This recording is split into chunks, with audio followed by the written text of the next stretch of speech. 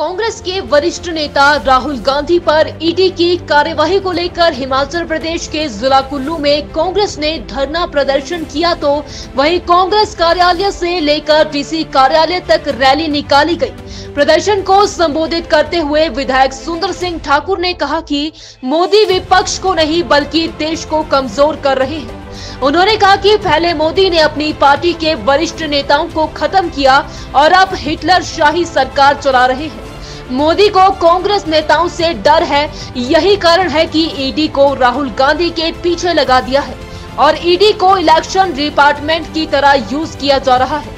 आप देखते होंगे कि ये जो प्रहार, ये जो आज़ादी का प्रतीक नेशनल हेराल्ड न्यूज़पेपर था, नवजीवन उसमें अखबार थी और जो है कौमी आवाज़ अखबार थी, उसको जब गोरों के खिलाफ, अंग्रेज़ों के खिलाफ जब लड़ाई हो रही थी तो यही अखबार था जिसने कि अहम आज़ादी का मूवमेंट को चलाने के लिए जो है किरदार निभाया था। उस अखबार को बाद में भारी नुकसान में वो कंपनी चली गई। उस कंपनी को, क्योंकि वो आज़ादी के प्रतीक कंपनी है, उसमें मात्र सतासठ करोड़ रुपया उन एम्प्लॉयज़ को वॉल्ट्री रिटायरमेंट पे उन्हें पेंशन के तौर पे उस कंपनी का जितना जो ड्यूज़ था एक्साइज ड्यूटियाँ थी, जो भी ड्यूज़ था, उसे क्लियर किया गया और सीधे तौर पे जो है आज़ादी के प्रतीक उस अखबार को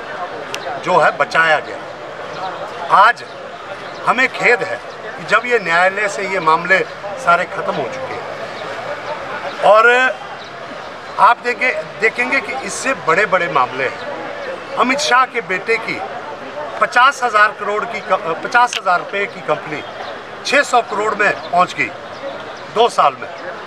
उस पर कोई ईडी का कोई उस पर कोई छानबीन नहीं हो रही है। लेकिन सतासठ करोड़, एक जहाँ हमारी मुख्य राष्ट्रीय पार्टी है अगर भारतीय जनता पार्टी ने 1200 करोड़ का वहाँ पे दिल्ली में दफ्तर बना दिया, हर ज़िले में चार पाँच पाँच जगह प्लॉट खरीदे, उसकी कोई वो नहीं हो रही है। हम कह रहे हैं कि आपको अगर छानबीन भी करनी है तो आप जनता के सामने छानबीन कीजिए। आप ये क्या कि 12-12 घंटे उनको बुलाकर प्रत्यारित किया जा रहा है? ये तो वही मिसाल हुई, जैसे वीरभद्र सिंह जी के पूर्व में उनकी बेटी की शादी थी।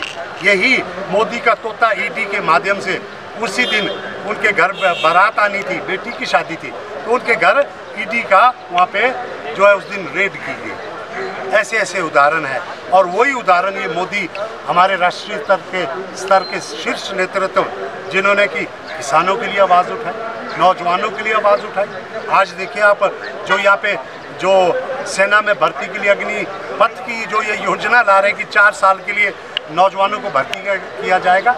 ऐसे बहुत सारे मुद्दे इस अहंकारी, जो केंद्रीय जो एनडीए की सरकार है, इसके खिलाफ है। लेकिन जब कोई भी इनके खिलाफ जो आवाज़ उठाता है, ये मोदी तो निर्दयी है। इसने आडवाणी को अपनी पार्टी के शीर्ष नेतृत्व को नहीं छोड़ा। ये कह रहे हैं कि कांग्रेस मुक्त भारत बनाएँगे। मैं एक ही बात कहना चाहूँगा, जब कांग्रेस मुक्त भारत, विपक्ष मुक्त प्रजातंत्र में अगर देश होता है तो देश कमज़ोर होता है। सत्ता पक्ष के साथ विपक्ष का होना भी बहुत ज़रूरी है। ऐसे में जो मोदी की मंशा है वो सही नहीं है। हमारी एक ही बात है कि शीर्ष नेतृत्व से आप एक बारी में आपने इतने दिनों से आप जो बार बार जो इस मुद्दे को जनता के सामने गुमराह करने के लिए पेश कर रहे हैं, इसके खिलाफ हमारी ये लड़ाई है। हम राहुल गांधी, सोनिया गांधी जी और अपने शीर्ष नेतृत्व के साथ सारे के सारे जो हमारे बूथ लेवल के लोग ज़िला लेवल के लोग ब्लॉक लेवल के लोग खड़े हैं। यही मैं आपके साथ कहना चाहता हूँ ये आपके प्रेस की आज़ादी को लेकर भी ये बात है। अगर इसी तरह से ये हिटलर शाही चलती रहेगी तो इस देश का प्रजातंत्र जो है ये ढांचा संघीय ढांचा ये दराशाही होकर रहे उज्जवल हिमाचल के लिए कुल्लू से मनीष ठाकुर की रिपोर्ट।